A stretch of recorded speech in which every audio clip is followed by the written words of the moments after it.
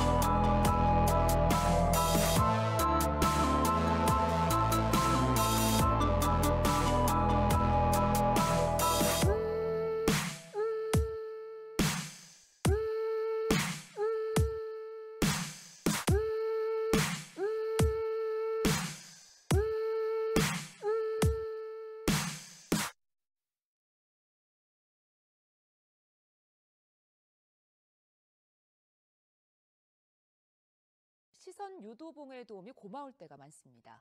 그런데 차선을 따라 설치된 시선 유도봉이 바닥에 고정했던 볼트가 풀려 도로 위로 노출돼 있습니다. 시선 유도봉 재질 자체가 파손이 쉬워 훼손율이 높지만 대체 시설물은 없습니다.